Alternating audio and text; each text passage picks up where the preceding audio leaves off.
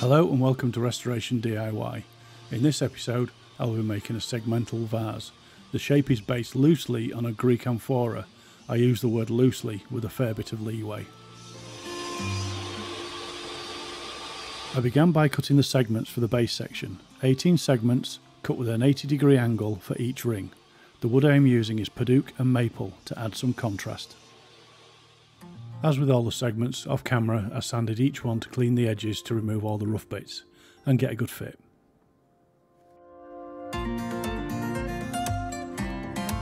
Learning my lesson from previous projects, I made sure I applied plenty of glue. I don't want this one coming apart on the lathe like on a previous bowl. Definitely not an experience I enjoyed.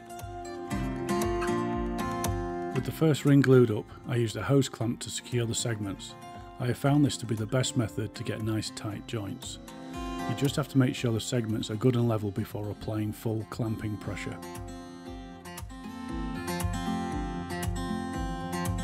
This is the first maple ring and forms part of the central banding, but looking at the state of these segments, I didn't sand the edges.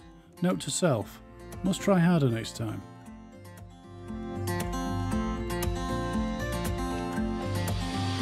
I'm not going to show all the rings being made, but off camera I glued a 5mm strip of maple to a piece of padauk to form some of the midsection feature.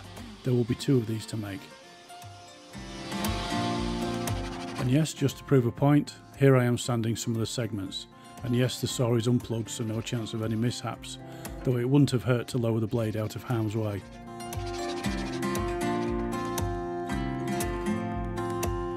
There are a total of 11 rings and a solid base piece. They will be glued up in three separate sections, base, middle and top. I did this so I can get to the inside. If all the rings are glued together as one, it would be very difficult to form the inside face.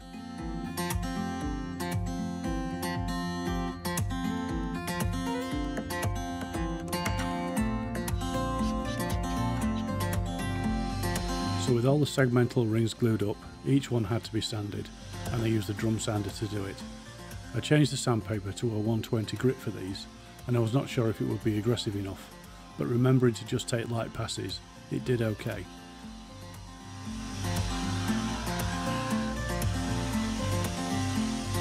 The next thing that needs improvement is dust extraction. I am using a Bosch Workshop dust extractor connected through a Cyclone dust collector, but this sander creates lots of fine particles and the setup I have just isn't powerful enough to remove it all. I've invested in something that should be better. I'll let you know how I get on with it when I get it set up.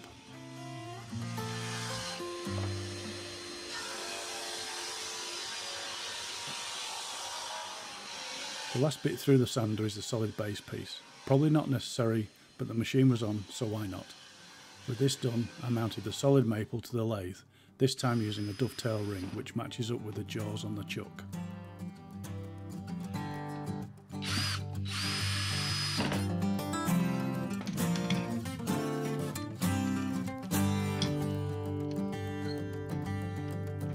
Normally I would have put this through the bandsaw to get it closer to round, but this time I didn't bother.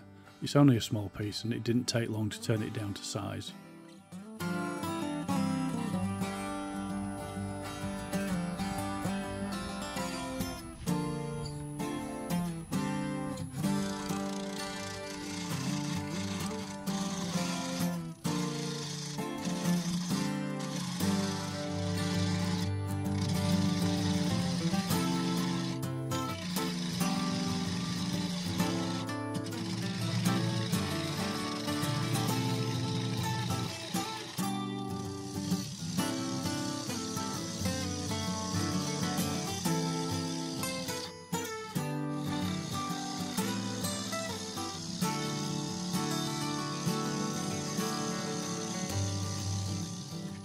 This time I decided to use a tenon to hold the piece in the chuck.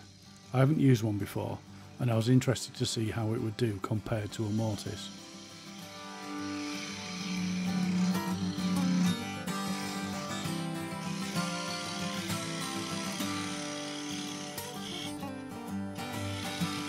So with the base turned roughly to shape and a dovetail added to the tenon, I moved on to gluing the top section. For this I just glued three rings together.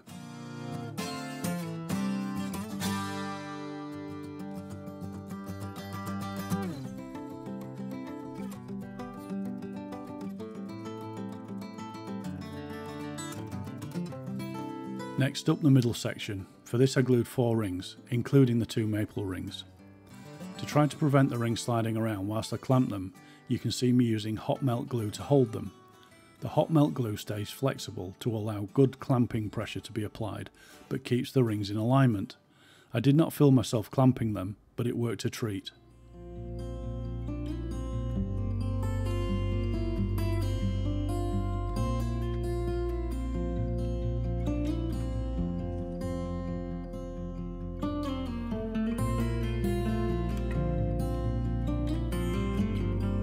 Finally the base section, 5 rings and the solid base piece, again each one glued with Titebond 2 and held in place with hot melt glue. I thought I might have trouble with the hot melt glue getting between the rings, but I think the wet wood glue solidified it before I had chance to cause any problems.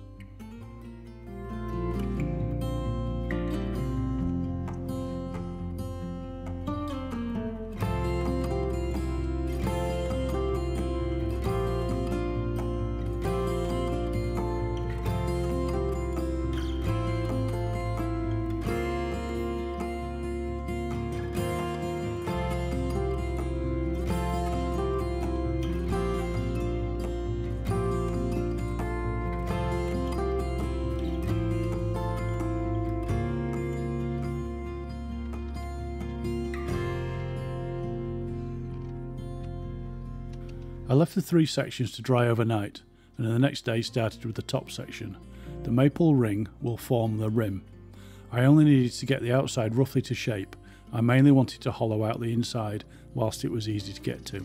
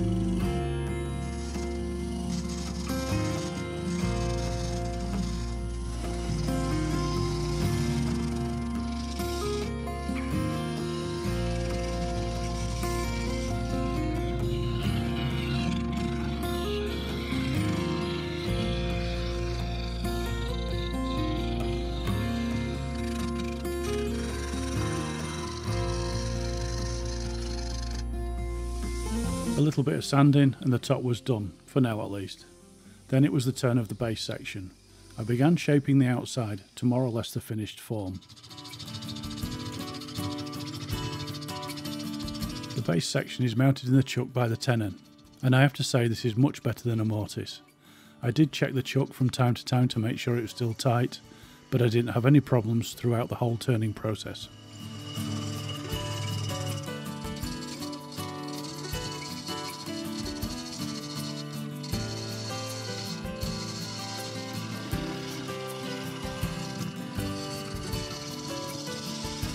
With a freshly sharpened bowl gouge, turning the outside surface was easy. In the next few clips, I'm using a gouge to shear scrape. This is a fairly new technique to me, and I found it to be a very controllable method for removing material.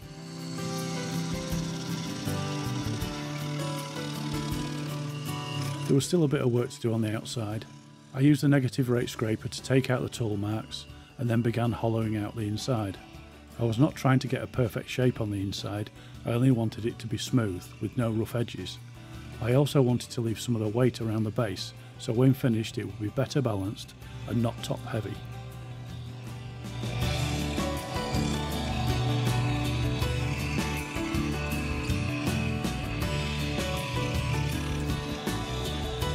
Once again the Easywood Tools Carbide Finisher was the tool of choice for hollowing out the inside. It allows me to cut down the face and across the base, taking out small amounts of material. Honestly, I prefer traditional wood turning tools, but this carbide cutter cannot be beaten at this particular job. Partly because space is tight on this lathe. Perhaps if I had a bigger lathe, maybe one day, but that will have to wait. After sanding the inside it was time to join the base and the midsection. 10 points if you can spot the error that I had to rectify about an hour after this clip was shot. It's a few days later, and with the error fixed, I began turning the midsection, initially using a half inch bowl gouge to remove the bulk of the material.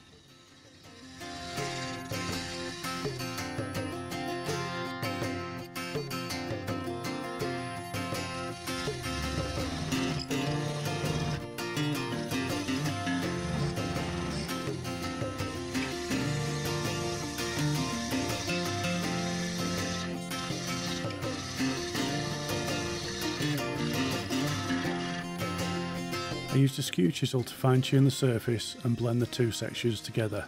With that done, I moved on to finishing the base. I purposely left this till later because I wanted as much strength in this section until the bulk of the material had been removed.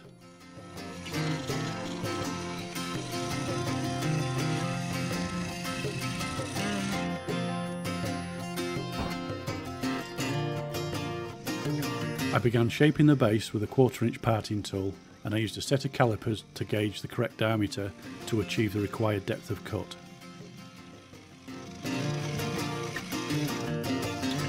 Once I had reached the correct depth, I used a quarter inch bowl gouge to remove the remaining material and the skew chisel to fine tune the surface. There wasn't a lot of space to work, so I had to go carefully so I didn't get a catch on the other side of the cut.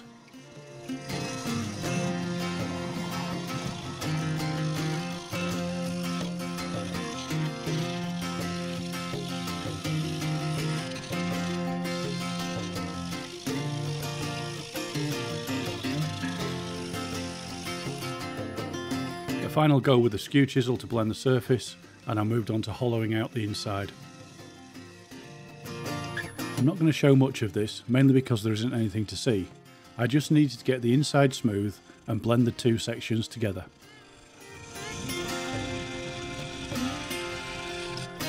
With the inside done, off camera, I offered up the top section and marked its diameter on the top of the mid section. You can just make out the pencil mark. I then use the negative rake scraper to get down to the line, and then once again use a skew chisel to blend and fair the surface.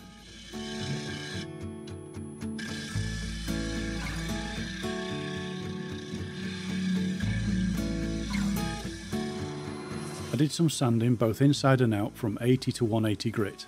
I then used sanding sealer on the inside and finished it off with wood wax 22 just to seal the wood. In the next clip you can see a bit of a dodgy move. I have my hand inside the workpiece polishing the wax off the surface, but also note I have my left hand on the speed control, so if anything happened, I would be able to quickly stop the lathe. So with the inside finished, I glued the top section on mounted in the Cole jaws. This then made it easy to bring the tailstock up to add clamping pressure and keep everything centred.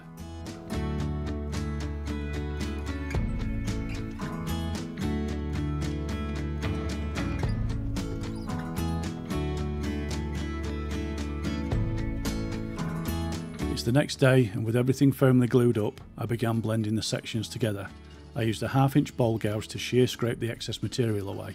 I then followed up with a Simon Hope negative rake scraper, being very careful not to catch the spinning Cole jaws, and for the tighter sections I nibbled away with a carbide cutter.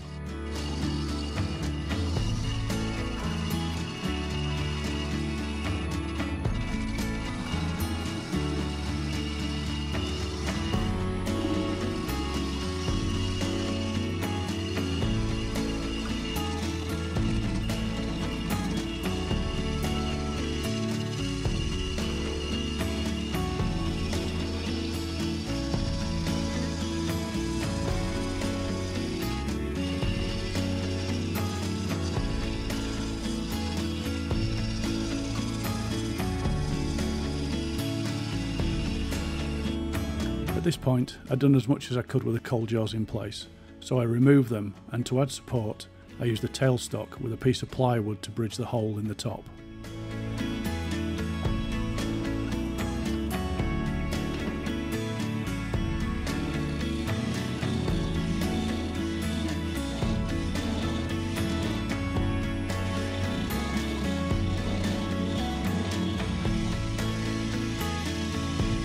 With more room to move, I was able to begin taking the neck down to the required diameter, again using a set of calipers as a guide.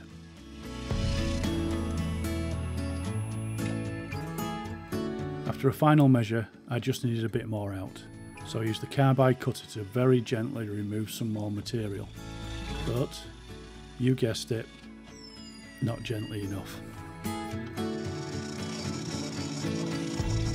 Okay, so I got a bit complacent, but with no significant damage, I finished the rim with a parting tool, just to get things square. And with that done, it was time for sanding.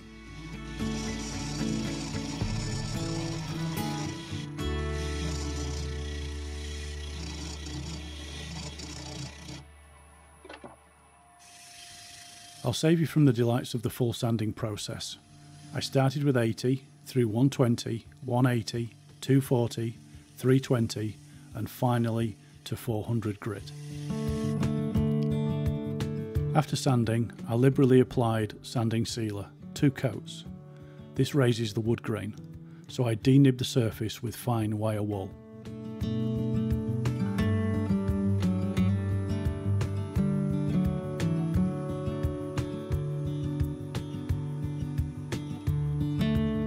Then two coats of Yorkshire grit, applied with a folded paper towel, then polished off until the paper towel is not picking up any more off the surface.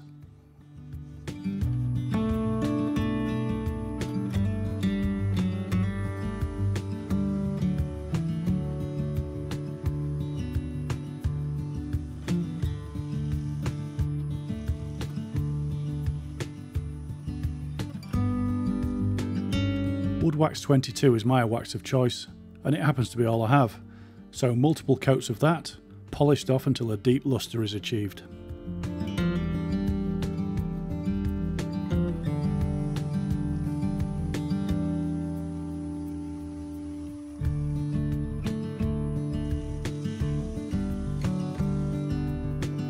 Up next, to finish off, is Hampshire Sheen microcrystalline wax, two coats, polished off to seal the surface.